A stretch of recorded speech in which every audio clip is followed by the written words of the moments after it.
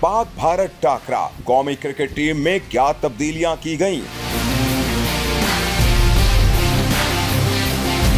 Asia cup में कल पाक भारत मैच से पहले कोलंबो में आज मौसम साफ़ है और शहर में तेज धूप निकली हुई है। कोलंबो में आज मुसलसल बारिश की पेश गोई की गई है, मगर इस वक्त तक कोलंबो में मतला साफ़ है। पाकिस्तानी क्रिकेट टीम सुबह के वाहिद सेशन में ट्रेनिंग करेगी। मीडिया रिपोर्ट के मुताबिक पाकिस्तान क्रिकेट टीम की प्लेइंग इलेवन में तब्दीली न करने का इम्कान है।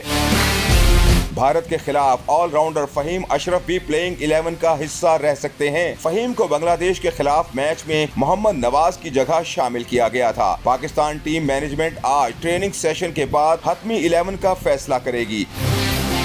दूसरी जानब पाकिस्तान क्रिकेट बोर्ड पीसीबी की कोशिशों से पाक भारत मैच के रिज़र्व डे के लिए एशियन क्रिकेट काउंसिल एसीसी ने हामी भर ली। अगर कल पाक भारत मैच मुकम्मल नहीं होता तो 11 सितंबर को जारी रहेगा। मैच वहीं से शुरू होगा जहाँ पर रोका गया होगा।